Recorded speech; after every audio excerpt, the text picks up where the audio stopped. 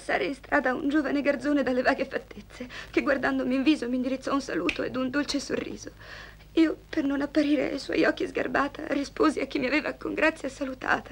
Ma ecco che quel giovine, guardandomi, da presso, di nuovo mi saluta e io faccio lo stesso.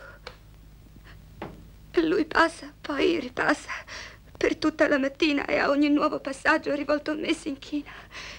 E, io meravigliata di questo giro tondo, come il dovere detta ogni volta rispondo.